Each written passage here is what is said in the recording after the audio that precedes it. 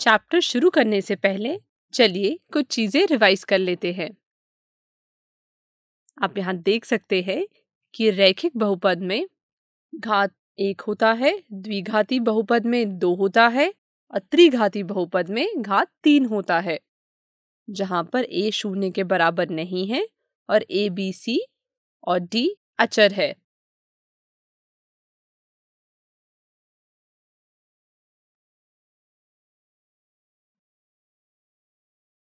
तो हम शुरू करेंगे सबसे पहले टॉपिक से, रैखिक बहुपद के शून्यकों का आलेखीय निरूपण। हम जानते हैं कि किसी बहुपद का शून्य क्या होता है। लेकिन क्या आपने कभी सोचा है कि बहुपद का शून्यक आखिरकार उस बहुपद के बारे में क्या बताता है? इस सवाल का उत्तर हम आगे देखेंगे। लेकिन उससे पहले एक महत्वपूर्ण कॉन्सेप्ट पढ़ेंगे। मान लीजिए कि पी एक्स बराबर टू एक्स प्लस थ्री एक बहुपद है। तो यहाँ x की जगह माइनस थ्री बाई टू रखने पर हमें ज़ीरो मिल जाएगा, यानी कि x बराबर माइनस थ्री बाई टू बहुपद बी एक्स का शून्यक है। चलिए अब इस बहुपद को दूसरे नज़रिए से देखते हैं और इस बहुपद का ग्राफ खींचते हैं। इस बहुपद को हम y बराबर टू एक्स प्लस थ्री भी लिख सकते हैं और इसका ग्राफ बनाने के लिए हमें कम से कम दो बिंदु चाहिए। तो हमने पहले इस प्रकार एक टेबल बना लिया। अब x की कोई भी दो मान इसमें रखेंगे। तो हमें y का मान मिल जाएगा। अब हम इन दो बिंदुओं को y equals two two x plus three का ग्राफ बनाएँगे। तो हमें कुछ इस प्रकार का ग्राफ मिलेगा। क्या आप बता सकते हैं कि यहाँ यह रेखा क्या दर्शा रही है? यहाँ पर यह रेखा बहुपद px को दर्शा रही है।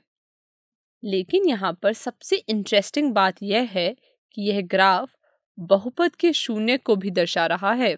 चलिए देखते हैं कैसे। आपको याद होगा कि बहुपद का शून्य वह मान होता है जहाँ पर बहुपद का मान शून्य होता है। अब आप इस ग्राफ को देखिए और बताइए कि इस रेखा पर y का मान शून्य कहाँ पर है।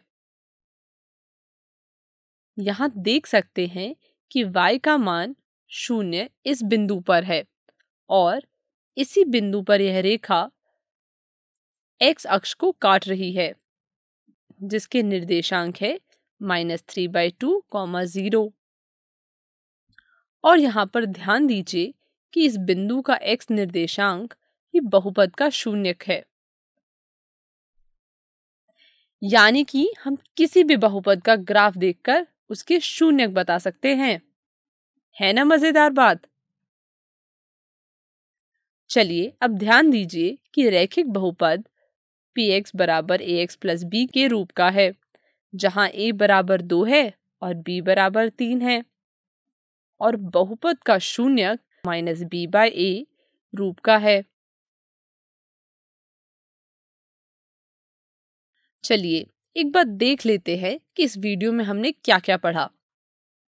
हमने पढ़ा कि एक रैखिक बहुपद का ग्राफ एक्स अक्ष को केवल एक बिंदु पर प्रतिच्छेद करता है, जिसका एक्स निर्देशांक है, उस बहुपद का शून्यक होता है। इसे अपनी कॉपी में बना लीजिए। और यह भी अपनी कॉपी में लिख लीजिए।